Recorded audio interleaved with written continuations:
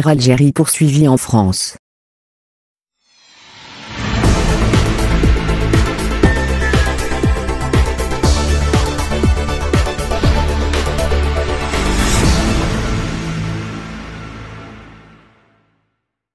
Dans une conjoncture marquée par le confinement, la suspension des vols et la fermeture des frontières ainsi que par l'absence de visibilité quant à la reprise des activités, l'association de défense des consommateurs UFC que choisir a décidé d'attaquer en justice 20 transporteurs aériens dont Air Algérie, Air France, Mirat, Royal Air Maroc, Turquie Airlines, Lufthansa et Tunisair.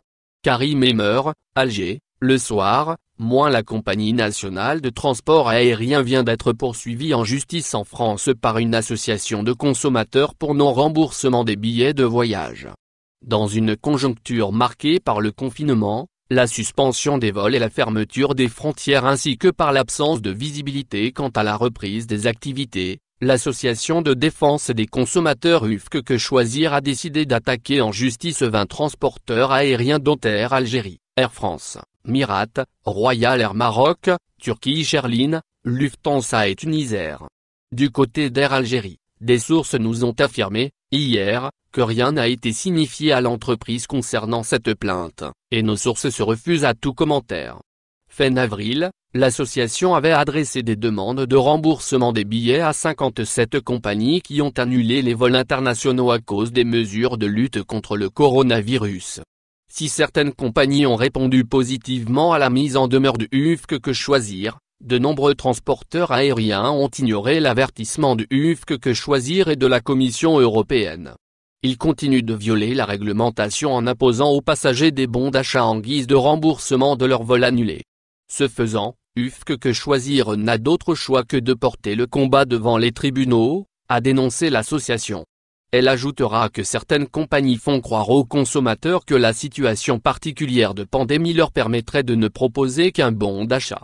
D'autres acceptent de rembourser leurs passagers mais en suspendent le paiement jusqu'à une date indéterminée, voire après la fin de la crise sanitaire.